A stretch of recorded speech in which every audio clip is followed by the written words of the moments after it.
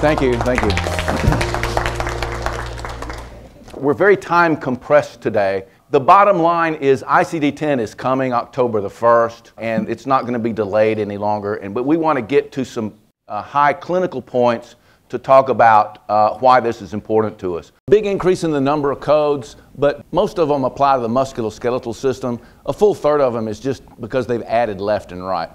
Now, it's important to, to physicians, not just that we're going from ICD 9 to ICD 10, but it's what they're doing with the codes after they leave the hospital. We're going to be graded for quality of care and cost efficiency of care, and the insurers have already had access to those codes, uh, and the public's going to have access to them too. And they're going to begin to adjust our reimbursements based on those assessments of quality and cost efficiency. Not just Medicare, but the private payers as well. The fee for service system is going away. In January, uh, Ortho is going to bundle payments for knee and, and hip joint uh, reimbursements. And they want to link everything eventually to quality and cost efficiency. And they're doing that through the physician value based purchasing modifier, but they're all based on the ICD 9 and ICD 10 codes. Information into the system comes through the physician quality reporting system and from hospital claims data for admitted patients. They're not looking at our charts, they're looking at all the number of ICD 9 codes that get attached to the billing record that describe the patient's complexity and severity of illness and looking at the length of hospital stay and how much we spent to accomplish their care. And this is the information they're using to determine our quality of care and cost efficiency of care. This is a screenshot from Medicare.gov. This is available to the general public. Any place in the world you've got a computer and a Wi Fi connection, they will have very soon quality data uh, on this public website. There's also a confidential report that every physician has, uh, and there's an appendix at the end of the handout that describes how you can get your own information. Each physician is going to be rated as high, average, or low for both cost and quality, and it all comes from that data. For the mega groups with more than 100 members, those adjustments started happening the first of this year. For those of us in smaller groups, everybody's going to be involved by the year 2017, and they look at records beginning two years prior, so they're looking at everybody's records now. And if, uh, come 2017, when this is implemented for all of us, if you are deemed to be high quality and low cost, then they'll boost your reimbursement 4%. If you're deemed to be low quality and high cost, then they will take 4% away. These are the diagnoses they're looking at to, to judge those assessments COPD, coronary artery disease, heart failure, and diabetes. They're dividing physicians up into to what percentage of the patient's total billing came from that physician. And if you're more than 35% of the total, you're in one category. If you're less than 20% of the total, which we as emergency physicians would probably be, uh, you're in another category, and then between the two is the third category. And exactly what they're going to do with that differentiation, I'm not sure, but it does go to the fact that it's not a me anymore, it's a we. It's important now more than it's ever been to accumulate all the secondary diagnoses because they add to the patient's total uh, reflective complexity of care, which in reality we're taking care of.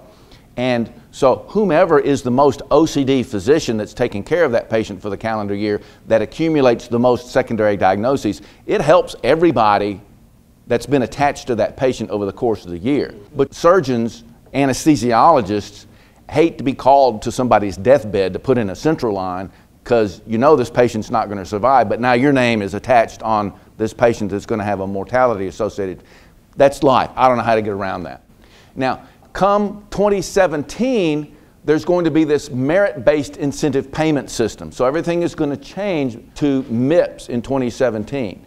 And each of us is going to be scored between 0 and 100 in each of these four categories quality of care, meaningful use of electronic records, and use of healthcare resources. In other words, how much we spend to accomplish what we do, and activities undertaken to improve clinical practice and the incentive goes from minus four to plus four to an increased bonus of not more than 10%, says the law, to a deficit of 9%. risk adjustment, that's you know why life insurance policy for a young healthy person costs less than an old person that smokes three packs a day. But we're interested in risk adjusted outcomes, which is observed versus compared, and we can measure pretty much anything and then compare that to how much is spent in the course of that care and gives a concept of cost efficiency. So observed outcomes come from the record, uh, but where do these expected outcomes come from? How do they know who to compare my care to? Well, these are other patients with similar demographics uh, and similar ICD-9 codes for the principal, secondary diagnoses, and procedure codes. So the height of this bar represents my patient's true total complexity of illness, severity of illness, but the height of this bar represents what the coders can code and thus report to the world how sick my patient is. Between here and here, we've got a, a, problem, and it's this documentation gap that's the difference between my patient's true severity of illness and how it is represented and it's determined completely by the documented language that I use in the chart and the coder's ability to translate that into terms that we get credit for in ICD-9 and ICD-10. And we don't get credit sometimes for all the words that we use. Important concepts, principal diagnosis, that condition established after study may not be immediately apparent, uh, but that condition chiefly responsible for occasioning the inpatient admission to the hospital. Secondary diagnoses, anything that requires clinical evaluation, therapeutic treatment, diagnostic procedures, anything that extends the length of the hospital stay or increases nursing care or monitoring, and then procedures. Now, it's these three elements that make up the DRG that determines how much the hospital gets reimbursed, but it's also these elements now that we need to be interested in because it's these things that make up the sum total of what we're being graded for for quality of care and cost efficiency of care. So we're all in the same boat together now. It's a, it's a we, not a me. Observed outcomes versus expected outcomes. So, this group of patients to whom my care is compared depends not on how sick my patient is, but how sick my patient looks on paper to the coder. And that's based on what I write in my emergency medicine note, what's in the H&P, the progress note, and, and most importantly, the discharge summary. So when we close this gap, we're going to reduce downcoding and just abject denials of payment because we didn't demonstrate the medical necessity for the services that we provide. And medical necessity is what the, the payers think is necessary, not what we as doctors think. Our quality portrayals will be accurate, our cost efficiency portrayals will be accurate. Now, there's no Rosetta Stone for translating out the language that we use with each other and on the medical record into these processing languages. There are three languages primarily used MSDRG for inpatients used by Medicare and most of the private payers. Uh, APR DRGs are used by Medi Cal. And a third methodology, HCCs, hierarchical condition categories. This is the methodology that they use to grade us. But these are all processing languages used for billing, reimbursement, and analysis. But they're all designed to communicate the patient's severity of illness. Within each of these, uh, there are different mechanisms for describing the patient's severity of illness. In the MSDRG system, it revolves around a term called a CC. One C stands for comorbidity, everything the patient brings with them before the inpatient order is signed, uh, the chronic conditions, and the new conditions like heart attack, stroke, uh, fractures, and the like. And uh, the other C is complications, things that arise anew after the inpatient order is written. And an MCC is just a major one of those. So it's a three tiered system MCC, highest level of severity, CC, middle level, and then neither one, um, uh, for which we get uh, no increased relative weight. In the APR DRG system, there's two categories severity of illness, risk of mortality. Each has a number between one and four. One, not very sick, four, very sick and the numbers don't have to be the same. In the HCC system, every condition, every ICD-9 code has a fraction of a number relative weight assigned to it, and you add all those fractions up together and you get a total number uh, that reflects the patient's severity of illness. These are called outpatient DRGs because as these two are applied only to inpatient admissions, the HCCs accumulate ICD-9 codes now regardless of the location where the diagnosis was made, inpatient or outpatient. There are ICD 10 codes for noncompliance, for example, which is very helpful. Now we can defend ourselves, you know, medical legally by documenting in the record noncompliance, but in ICD 9 there are no codes for that. In ICD 10, we can tell the world on the front end uh, that the patient is non-compliant and they'll be able to do statistical analysis on outcomes. So it, it is helpful in that regard. Now, this is in the MSDRG system, the three-tiered categories of severity. And notice there's no increased rate for these terms, altered mental status and unresponsive. And these are two of my favorite terms in more than a quarter century practice of emergency medicine because these are symptoms. They don't give you a clue what's going on, they're just symptoms. But if we can name the altered mental status as a delirium or a psychosis, if, if their mental status is altered because their sodium is 110 and that's why they have a delirium, well, that's actually secondary to the metabolic encephalopathy of hyponatremia, and we get huge increased relative weight for that. Same patient, same doctor, same nurses, same therapy. We get no increased relative weight for this. We get huge increased relative weight uh, for that. And it's important for us to understand some of these examples of the nomenclature where the coding system grants credit in places where it doesn't, because physicians have not been uh, involved in um, establishing relative weight. In the area of heart failure, you know, when, when we all went to medical school, if somebody was hospitalized with an exacerbation of heart failure, we just wrote down for the diagnosis CHF. Well, that's not uh, adequate now. To get full credit for it, we have to note that it's an acute exacerbation of heart failure because they had heart failure last week, they weren't in the hospital, so what changed? They have an acute exacerbation of heart failure, and they want to know if it's systolic, diastolic, or combined.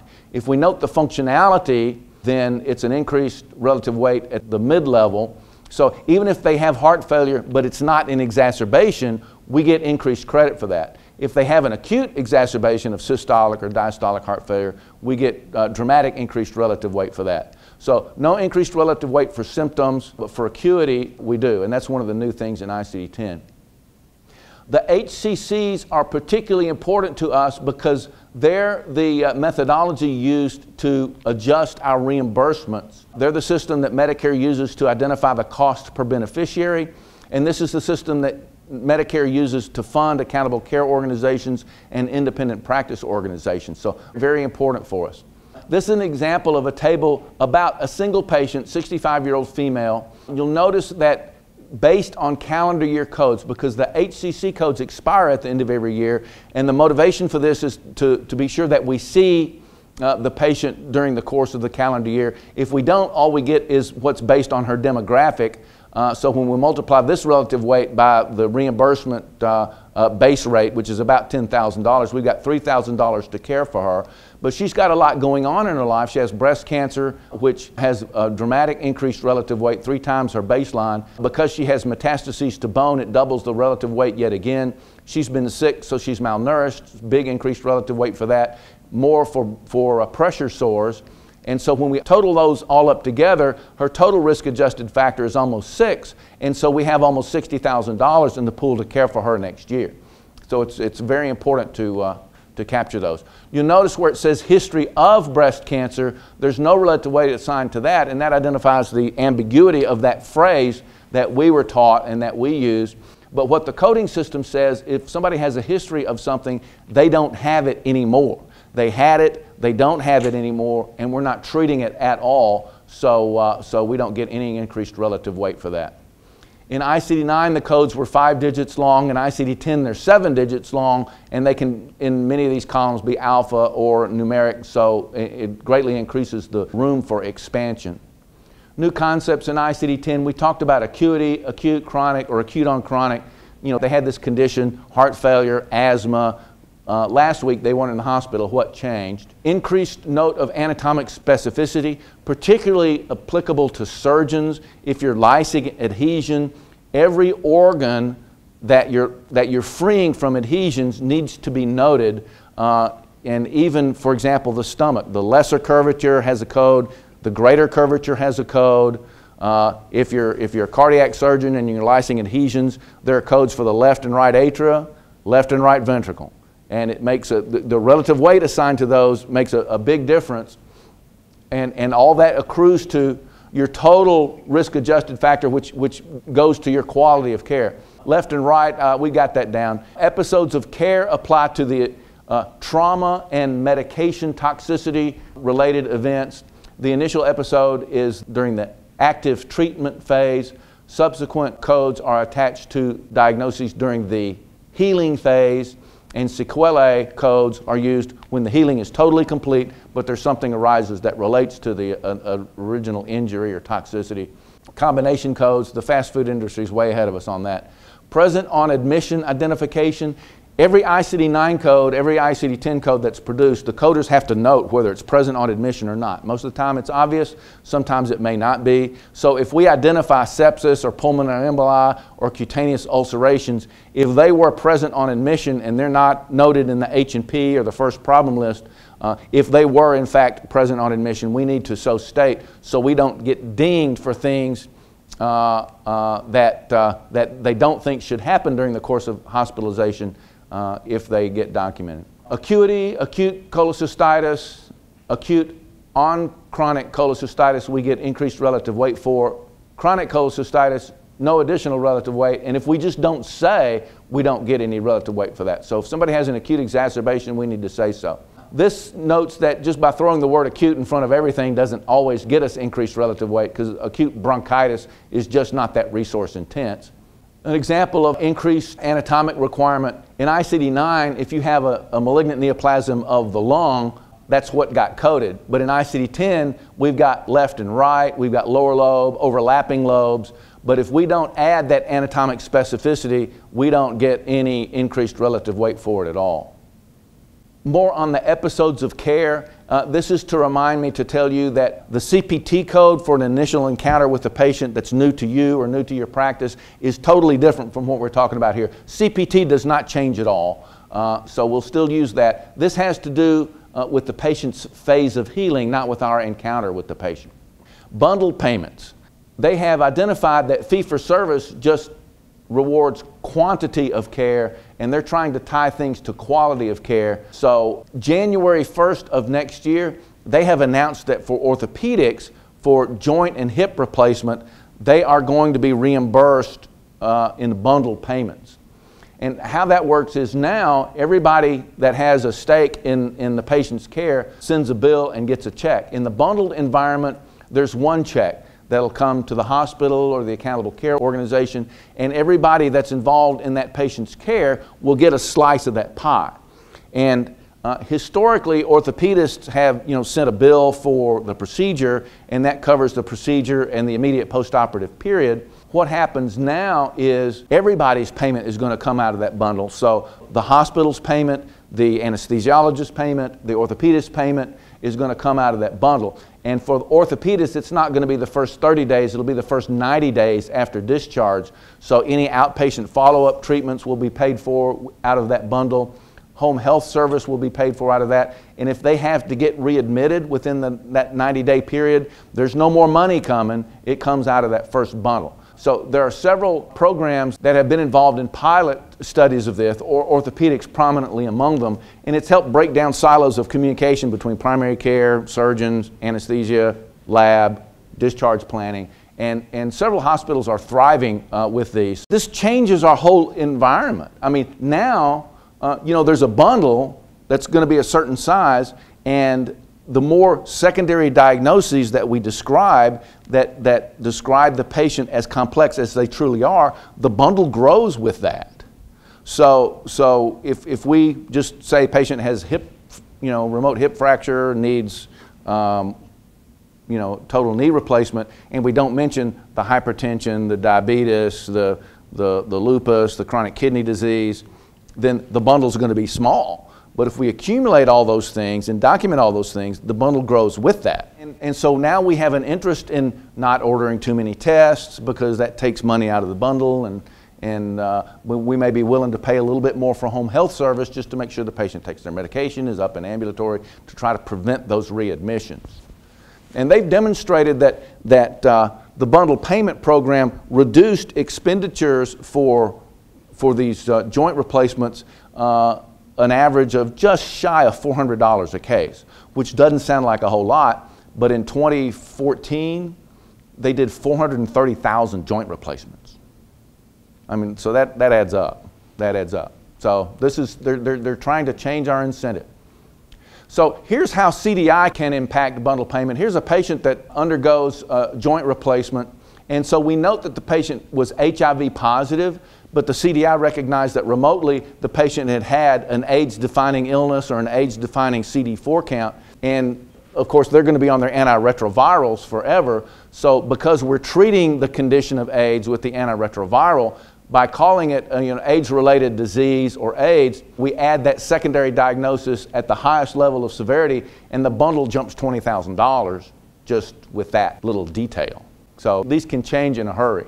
Revision of a hip or knee replacement, no secondary diagnosis. Here's the relative weight of the procedure itself and the bundle for the procedure itself. But when we identify a secondary diagnosis, even at that mid level, the relative weight goes up which accrues to every physician involved in the patient's care the anesthesiologist, the orthopedist, the hospitalist, if they're involved in there, and the bundle goes up accordingly.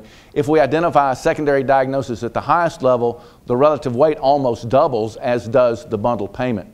So here's some secondary diagnoses that are often missed. Any form of malnutrition is a secondary diagnosis at the level of a CC. Severe malnutrition is a MCC you know, as joint replacements are elective surgeries, it's hard to identify a major uh, comorbidity or complication uh, for those because uh, usually they're exacerbations of, of acute exacerbations of disease.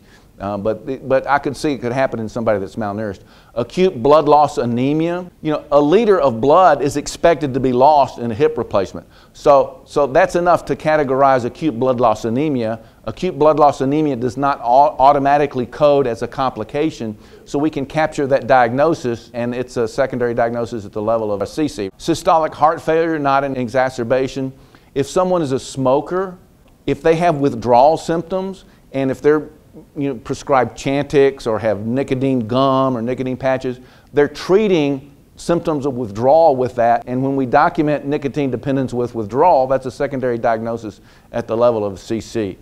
Chronic respiratory failure, if somebody's on home oxygen, there has, for Medicare to pay for that, there has to be some blood gas analysis out there somewhere that demonstrates they're hypoxic on room air, or Medicare won't pay for it. So by documenting chronic respiratory failure based on remote blood gas analysis, instant secondary diagnosis at the level of a CC. Now, hospitals that and medical staffs that don't get this education, that don't document these things, are the ones that are going to get in fiscal trouble because they're going to take care of patients that are this sick. They're going to code out this sick, so they're going to be reimbursed at this rate, and they're going to be spending more money than they get back. And uh, Ezekiel Emanuel, does that name ring a bell? He's the, the brother of Rahm Emanuel, Chicago's mayor. He's a physician, very active in the, the production of the Affordable Care Act. He says we expect 20% of hospitals to close. And this is, this is how that's going to happen. They'll be taking care of sick people, they won't describe them as sick, and they won't get reimbursed appropriately. So here's uh, small bowel surgery in the bundle payment environment. No secondary diagnosis, a secondary diagnosis at the mid level. You can see the relative weight goes up and the bundle goes up, of course. But also, as we accumulate secondary diagnoses, the expected length of stay goes up as well. So, you know, if you've ever felt pressure, you know, to get the patient out because we're getting toward the end of their expected length of stay, when we identify secondary conditions, we get more increased length of stay. And, and this, you know, this is one of the categories that's on the billing form, the, the, the, the length of stay. So if we, if we have sick patients that we get out early makes us look good, and that's, uh, that's going to accrue to our quality and cost efficiency of, of care. Now, we're being asked to describe a few more of the trees to justify calling it a forest. This is a mnemonic that my partner created to help pull some of these things in. It's called music manifestation, the presenting signs, symptoms, syndromes, U, underlying causes, S, severity or specificity, I, instigating or precipitating causes, and C, complications or, or consequences. When we link condition and cause or condition and consequence, almost always the relative weight goes up. And here's a simple example of that. Manifestation, back pain, near syncope, underlying cause, aortic dissection, severity or specificity, tearing, ripping sensation ascending toward the shoulder blades, instigating or precipitating cause, uncontrolled hypertension, resulting in spontaneous rupture, acute blood loss anemia. We can try to uh, pull these things together. Somebody with appendicitis, we'll talk more about appendicitis in a little bit because there's some interesting aspects in ICD-10. So here's appendicitis with no peritonitis, no secondary diagnosis, secondary diagnosis level of a CC and MCC. So if somebody has heart failure, not history of heart failure, but somebody has heart failure, not in exacerbation, uh, that's a secondary diagnosis at the level of a CC. Again, chronic respiratory failure. But if they have decompensated heart failure, then that's a, an MCC. So this is what I was getting to with appendicitis. It seems like just having appendicitis ought to be enough to get credit for separating somebody from their appendix. But if we just call it appendicitis, we get no increased relative weight at all. If we call it acute appendicitis, then that is a secondary diagnosis at the mid level of a CC. But if we call it acute appendicitis with localized peritonitis, and how else do you know they have appendicitis? Then that's an MCC, and we get huge increased relative weight for that. Similarly, with generalized peritonitis, similar le level of relative weight. Now, in the Medi-Cal system, for generalized peritonitis, there's a little bit increased relative weight for that. Generalized peritonitis to me is a totally different animal than localized peritonitis. Because if somebody has generalized peritonitis, I'm thinking something broke. You know, and I'm automatically thinking, do they, do they meet the criteria for sepsis under that circumstance? For some reason, the coding system now identifies the appendectomy, of course, is the procedure that drives the DRG. But now, when we have either localized or generalized peritonitis, it counts as a complicated principal diagnosis because of the localized peritonitis, and it changes the DRG to appendectomy with complicated principal diagnosis with an MCC, the localized peritonitis being the MCC. So we go from an appendectomy with no secondary diagnosis, relative weight of 0.9, to more than three times that. The bundle goes from less than 10,000 to more than 30,000. The doctors that get this first are going to look better on paper. They're going to be the ones that get that 4% boost or, or soon, you know, that 10%, up to 10% boost. Uh, this is not a quality of care issue. Taking care of the patients. This is a getting credit for it issue. The whole process of clinical documentation integrity is, is, is about accurately describing the patients using the language that we get credit for. It's not about ascribing the patient a condition that they don't have. It's being accurate and honest and, and doing it with integrity.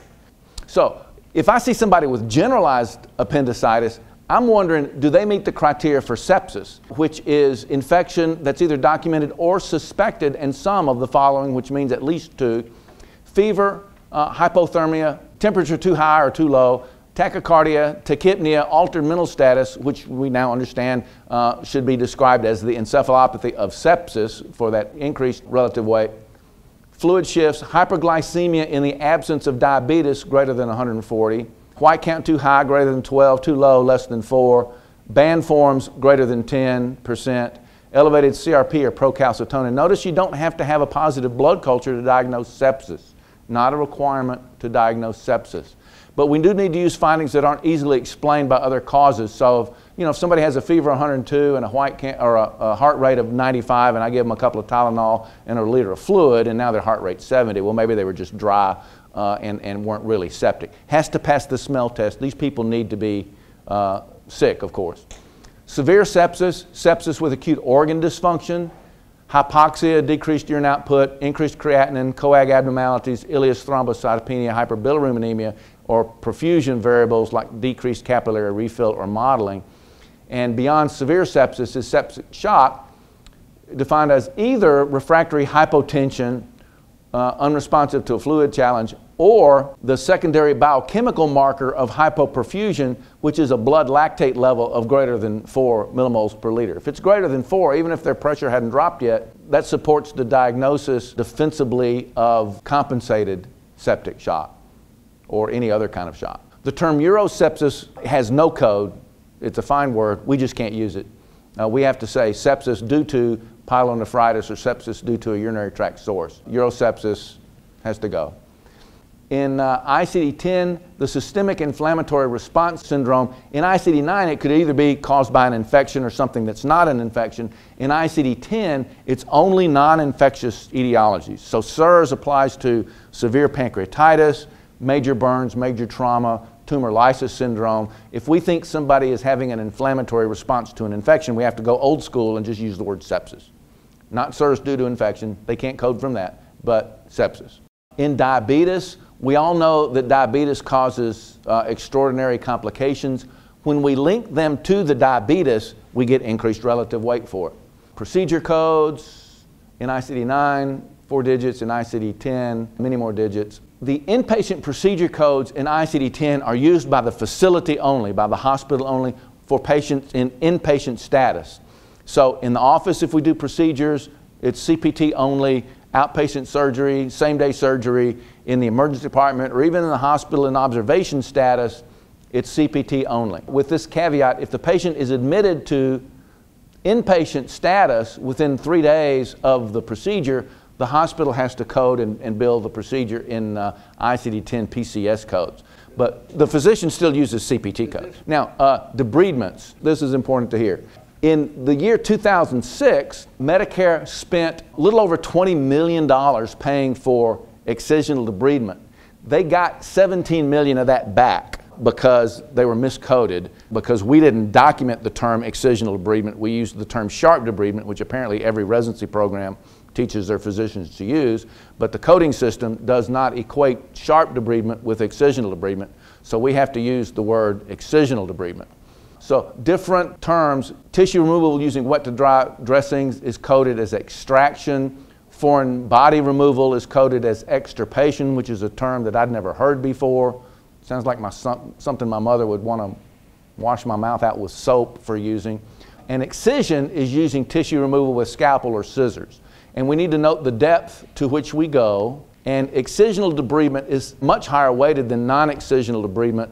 But if we don't use the word excision, they will code it as non-excisional. And this is not new information. I mean, this goes back as far as 1988. So uh, we just have to use the term excisional debridement when we're doing anything to cut tissue back away from the wound margin. Here's an example of, even with no secondary diagnoses, when we use the term excisional debridement, when that's actually what we're doing, it's 40% higher weighted than non-excisional debridement.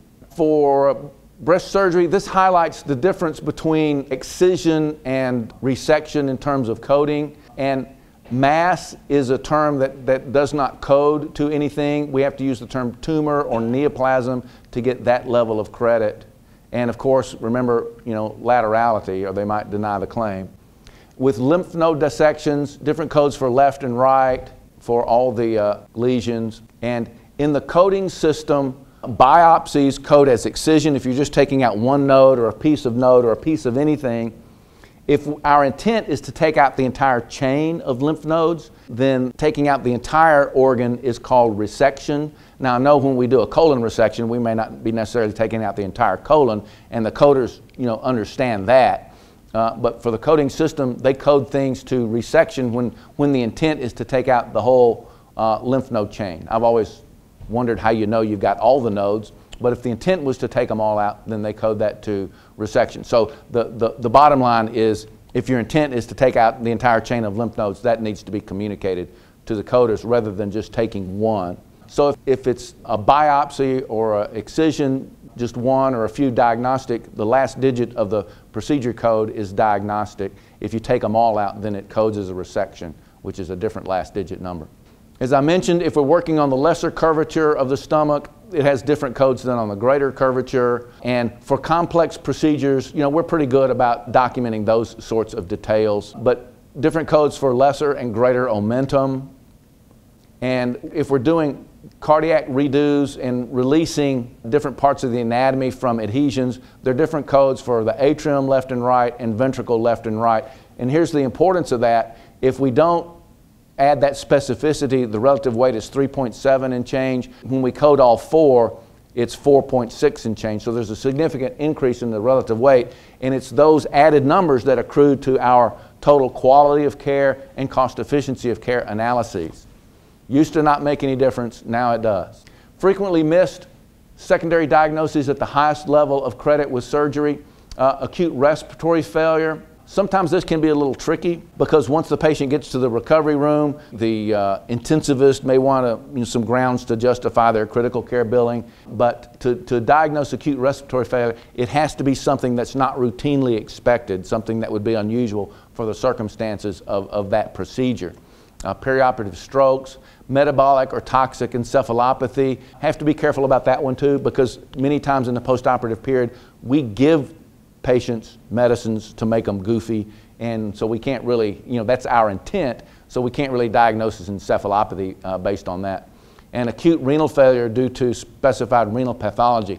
Most acute kidney injury that occurs in the hospital is secondary to acute tubular necrosis or ATN, whether it's uh, result of hypertension or hypotension or, uh, or uh, contrast-induced nephropathy. If their, if their creatinine bumps after a contrast procedure, uh, if it doesn't normalize with hydration within three days, then we can note the mechanism as ATN and that acute kidney injury goes from a secondary diagnosis at the mid-level of a CC to the MCC when we specify the pathology as ATN. Here's some other commonly undocumented perioperative oxygen dependence. Well, I'm oxygen dependent. We don't get any extra credit for oxygen dependence. Uh, but if they have chronic hypoxemia or hypercapnic respiratory failure, we get increased relative weight for that. Systolic or diastolic dysfunction, if we call it systolic or diastolic heart failure, we get credit bedridden state, there's a diagnosis called functional quadriplegia. It's not a neurologic quadriplegia, not from a cord injury, from a fracture, a cord transection, or cord infarction. It's due to frailty or a severe physical disorder like end-stage Alzheimer's, where the patient is, is not able to feed themselves, not able to turn themselves in the bed. It's not a neurologic quadriplegia, but it's functionally a quadriplegia and that has a massively high relative weight. Secondary diagnosis at the highest level of an MCC. The relative weight in the HCC system, the one that you know goes toward our grading, it's five times higher than an acute ST elevation MI, the relative weight for functional quadriplegia. So if they're bedridden and functionally quadriplegic, then we use that term and we get huge relative weight. If someone is simply HIV positive but has never had an AIDS defining illness, never had an AIDS defining CD4 count, you can't even report that in California. But if they've had AIDS or previous history of AIDS, then we can at extraordinarily high uh, relative weight. Diabetic gastroparesis uh, does not get us the relative weight that diabetic autonomic neuropathy does. Just one of those idiosyncratic, arbitrary things in the coding system is what we get credit for, what we don't. Drug or alcohol abuse, if we note the dependency of whatever alcohol, methamphetamine, um, opioids, then increased relative weight for that. If they have symptoms of withdrawal or being treated with the medication to manage their symptoms of withdrawal, even higher relative weight for that. Any late effect of stroke, a lot of times we're accustomed to seeing the dysphagia, dys- dysarthria, the unilateral weakness. If we can state that and add the, the, the linking phrase due to stroke, then we get increased relative weight for that. There's an increased emphasis on intraoperative versus postoperative events. There are different codes for intraoperative hemorrhage or hematoma versus postoperative hemorrhage or hematoma. Increased emphasis on complications, and the Agency for Healthcare Research and Quality has these things they call patient safety indicators, which are things they think ought not happen postoperatively, pressure ulcers, dropping a lung when we put in a central line. So it's, it may be uh, important to note if someone has a procedure following which a pneumothorax uh, is not unexpected, then uh, uh, it's important to, to note terms like you know, expected or integral to the procedure, that sort of thing. So the coders will know not to code that separately. Catheter related infections from urinary catheters or you know, IV catheters they think we ought not let people fall out of bed and break a hip after they're in the hospital, DVTs, pulmonary embolism, things like that. It's not a horribly unreasonable list. The definition of complications, it's something that's more than routinely expected, has to be a cause and effect relationship, and documentation in the record that it's a complication. Now, that doesn't mean we can never call something a complication and we'll have a zero complication rate uh, because the coders are required to, to query if they have a question about that. This is an example of a query that one of the organizing bodies had produced. And I put this green box around these terms.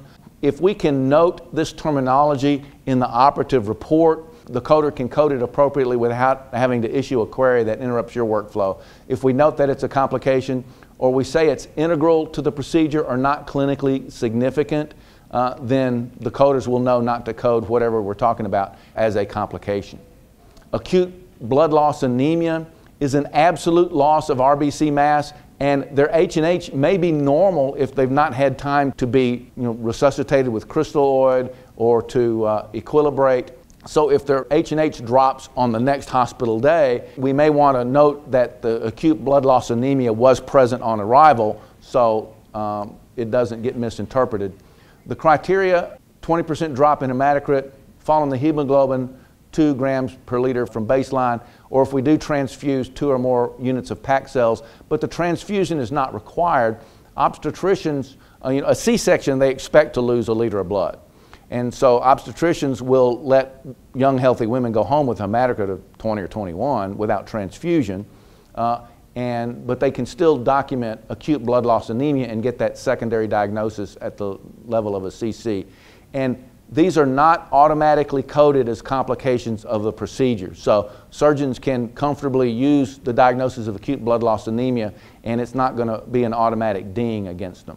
Unless, of course, it's a complication. I mean, if, uh, if you're doing an appendectomy or you know, that's probably, you don't expect a, a lot of blood loss, but if something gets nicked, uh, then it uh, might be uh, uh, an actual unexpected event. So this is a definition of acute kidney injury. Creatinine increase greater than 0.3 milligrams per deciliter or one and a half times above the baseline. And as I'd mentioned, most hospital-acquired acute kidney injury is acute tubular necrosis rather than medullary necrosis or cortical necrosis. For the chronic kidney diseases, we get no increased relative weight for stages one, two, or three, but for stage four or five, we do. Most reports now will give an estimated glomerular filtration rate, so uh, that may help us classify that. The MCC is reserved for end stage renal disease where somebody's getting dialysis or transplant. A big opportunity to diagnose uh, at a level of uh, secondary diagnosis of CC is malnutrition. They've changed the requirements. We don't use albumin and prealbumin anymore, which was easy because you just order a lab test. Now the new Aspen criteria uh, has six criteria, uh, and you need two or more to diagnose malnutrition insufficient energy intake, weight loss, loss of muscle mass, loss of subcu fat, or localized or generalized fluid accumulation that may actually mask weight loss, and diminished functional status as measured by hand grip strength. And they have these hand grip dynamometers, which actually give you a number. And uh, this is something that the dietitians can, can do to identify levels of malnutrition if there's, if there's any level, mild or moderate malnutrition, it's a secondary diagnosis at the level of a CC. If they have severe malnutrition, that's a secondary diagnosis at the highest level of an MCC. And there's, a, in, in, there's an appendix in the back of the handout that goes through uh, why the albumin and prealbumin aren't utilized anymore. That, I, I, produced that basically from my own education, but I thought I might as well share that. Hospital acquired conditions are under scrutiny uh, this is the list of uh, things that Medicare has produced as uh, hospital acquired conditions. If these things occur during the course of a hospitalization after the inpatient order is written, uh, they may have on the table uh, identification of a secondary diagnosis at a level of a CC or an MCC, but if they happen after the inpatient order is written, we do not get that added relative weight ascribed to our total quality of care score the hospital does not get any additional funding that would accrue to, to adjustment of the DRG based on that. We just all have to eat that. Pressure ulcers that go to stage three or four. If somebody has a pressure ulcer on admission of a stage one, which is just red skin that does not blanch with pressure, then if that deteriorates during the course of hospitalization, we do not get dinged for that. So it's very important to document uh, stage one pressure ulcers uh, as uh, present on admission.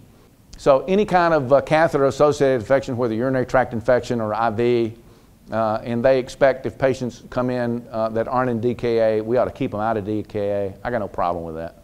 Wound infections and dehiscence. So the clinical documentation integrity team help us when our handwriting is illegible or we're not clear with what we're saying or, or consistency. They like to see things you know, conditions to code them reliably and make the review audit contractors keep them at bay because they make their living taking diagnoses away and taking money away from the hospital. Uh, and so we, we like to see things mentioned more than once just to, to make sure they understand we mean what we're talking about. But what CDI is not is not about upcoding. That's attributing a condition to a patient that they do not have. Uh, that's fraudulent, and we don't, we don't do that. But what CDI is, is understanding the rules and regulations and guidelines prepared for us largely by non-physicians, and these are mandated by law that we follow these, not the ACA, not the Affordable Care Act, but the, but the HIPAA legislation from back in the 90s. Now, uh, if you do get queries, sometimes they can seem like they're uh, imprecise or, or indirect or confusing. Uh, they, you may get the impression that the coder really doesn't know what they're asking. Uh, that's not the case at all. If we, for example, say down arrow sodium 120, but we don't use the word hyponatremia, they cannot code hyponatremia. They can't give us credit for hyponatremia. So when they ask us to use the word, they can't use the word to ask us. They can't ask us, does this mean hyponatremia? They have to say, what's the clinical significance of this?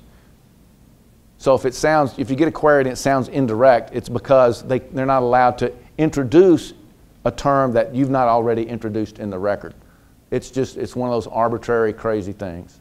So this is a general equivalence map. Every ICD-9 code here, what it's called, every ICD-10 code and what it's called, and whether it's an exact match, an approximate match, or whether there's so many options, you really need to look at the, at the, uh, the tables. Now we're going to have for you a digital version of this table uh, that you, that's searchable. Up in the, in the top right corner, you can uh, you type in like uh, Crohn's, and it will go to this area of the table. And this table is like 2,500 pages long, so don't print it off. Uh, but it will give you an idea, particularly if, if you, you have coders in your own office that code things, they can look at your top 10, 20, 30 diagnoses in ICD-9 and see what to expect for ICD-10 to make it uh, easier for them. We also have this table for you as well. Every ICD-10 code, its description, and whether or not it has an HCC code, those are the ones that are most important for us for establishing our quality of care cost efficiency scores. You know, there are 70,000 ICD-10 codes coming. There are only about 70, 70 HCC codes. Everything does not have one. Uh, things that are short term, not resource intensive, may not even have a code. And it gives the relative weight for patients in the community versus patients that are institutionalized, like nursing home patients. Uh, if there's one of those uh, surgically associated PSIs, it will be noted here. If there's one of the Medicare identified hospital acquired conditions, it would be noted in this column.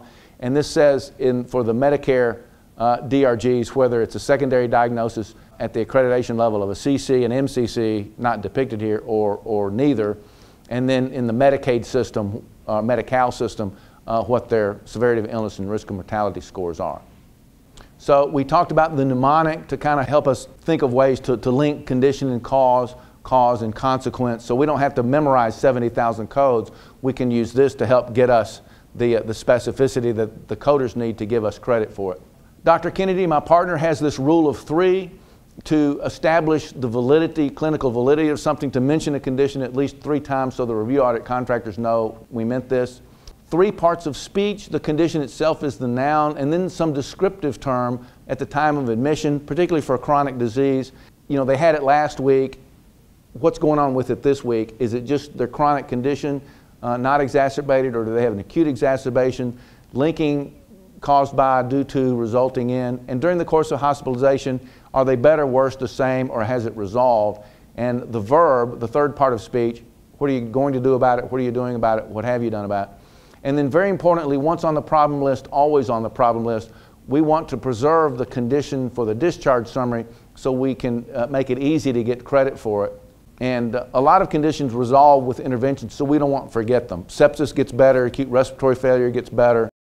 So lawyers will tell us if we didn't document it, we didn't do it. And the payers tell us that if it's not documented, we didn't diagnose it. What we say is if it's not documented, we can't get credit for it. So we want our patient's true severity of illness to be represented in our documentation in language that allows the coders to give us credit for our patient's severity of illness so we don't get downcoded, we don't get denied. The services that we provide, their medical necessity for them is well understood by the payers our quality portrayals will be accurate and our cost efficiency portrayals will be accurate. Thank you. I greatly appreciate your time and we're going to we're going to get through this. We're going to not just survive but thrive.